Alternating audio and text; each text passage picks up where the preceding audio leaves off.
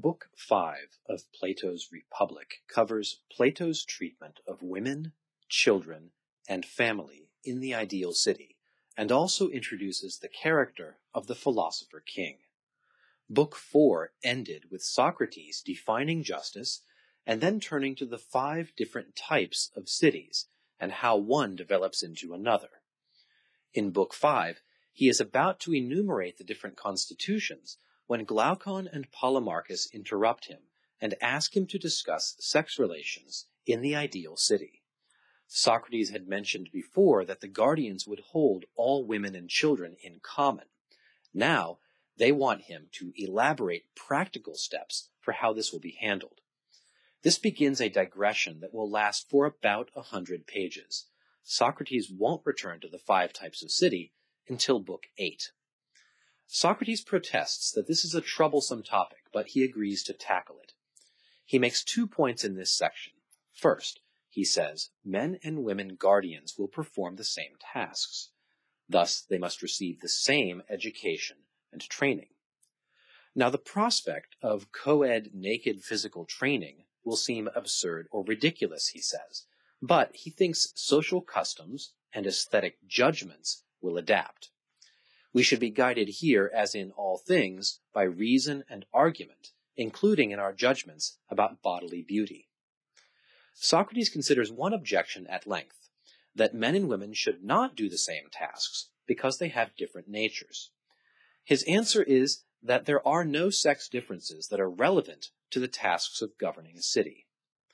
Natural talents, he seems to think, are distributed more or less randomly among women as well as men. Therefore, women guardians must share in all education and tasks of male guardians, with allowances made for their inferior strength. His second point is that the guardians will have wives and children in common. Just as they can have no private property, there will be no private family life among them. Socrates must prove that this arrangement is both desirable and feasible. So first he discusses its benefit or desirability. To ensure the health of the ideal city, we will need breeding rules for male and female guardians, he says. These rules should be rational, and as with animals, the best should be bred with the best. But this eugenics program will require lies and deception, Socrates says. In order to succeed, the breeding program must be concealed from the guardians themselves. He suggests numerous pretexts, including lotteries and other staged events, to make the guardians think that their mating habits are governed by chance rather than being intelligently directed. The children of the best will be reared by special professional nurses in a different section of the city. Children of inferiors will be exposed or murdered for the good of the city, Socrates says. Guardian women will nurse, but they will not know their own children. The burden of parenthood on them will be kept as light as possible. Socrates discusses how the institutions of piety and shame can be used to discourage unauthorized mating and parenthood among the guardians. My comment on this program is that for Plato, reason governs all, even intimate relations. Natural desires and custom must bend to what reason tells us is best for the city. After making these two points, Socrates presents his argument that this is the best system for family life for the guardians of the ideal city. This system of shared children and spouses leads to the widest possible sharing of pleasures and pains, of the greatest overlap of guardians saying mine about the same objects.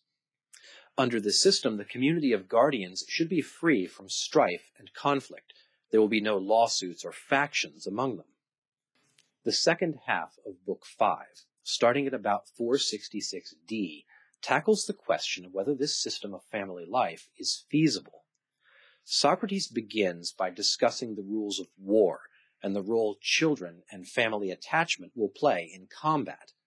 He suggests that both parents' affection for offspring and their reverence for the dead can be used to make the guardians into better warriors for the city's benefit. When challenged to get to the point of how such a city could be realized, Socrates distinguishes between the ideal and the actual city. This city is a model only, he says, and should be judged as a model. Furthermore, it is not possible to prove everything in practice as much as in speech. If we can show a close approximation of such a city in practice, this will be enough, he says. So he begins with a question. What changes in present cities would lead to our ideal city? And he answers that one change only is needed in a famous quote at 473d. Until philosophers rule as kings in their cities, or those who are nowadays called kings become genuine and adequate philosophers, cities will have no rest from evils. This is a controversial proposal, so in the final pages of Book 5, Socrates begins to specify the character of the philosopher king, a task he will continue into Book 6. The philosopher king will have to be someone who loves the whole of wisdom and learning, not just part of it. This distinguishes him from craftsmen and practical people. The difference between philosophers and others turns out to reflect the difference between beauty itself, which the philosopher sees, and beautiful things, which are all the craftsman can see. This in turn reflects the difference between being, or what is, and becoming, or what both is and is not.